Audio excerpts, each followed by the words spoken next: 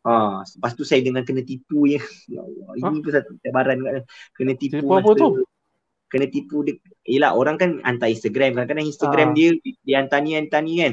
Hantar ha. dia susah gambar. Ha, bila kita check nombor telefon tak nak bagi apa semua kan. Ha. Ha. Saya dah bank in dah. Boleh tak saya dapatkan ni, ni saya tanya. Saya nak hantar ha. barang. Alamat, ha. Ha, hantar barang. Ini minta duit ha. kan saya hantar barang. Tiba-tiba tak nak bagi alamat. Tak apa, tak apa, tak payah. Oh. ah, bila, bila saya ni ah, bila saya tanya kenapa tak tak apa. Ni lepas tu saya minta dihantar voice note pun tak nak. Hmm.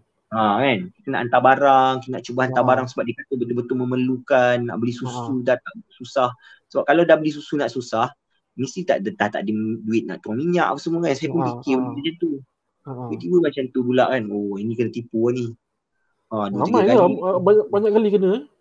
Ah, da- dalam masa tujuh hari, lapan hari saya tiga kali dah kena. Allah. Ah, dan saya rasa macam kadang-kadang give up nak nak bagi orang duit macam tu je kat Instagram. Ah, takut lah kan. Ah, betul. Tapi lepas lepas lepas tu Amar ada tetapkan apa-apa ke sebelum nak bagi ada, tu? Ada, ada. Ha. Saya cakap message nombor saya yang saya selalu buat live tu. Hmm. Uh, and then hantar hantar IC dengan pegang IC. Um, uh, pegang IC. Uh, sebab ha. saya tahu baru betul. Ha, so saya tahu dia duduk kat mana semua at least dia tak tipu kalau saya nak hantar barang pun senang.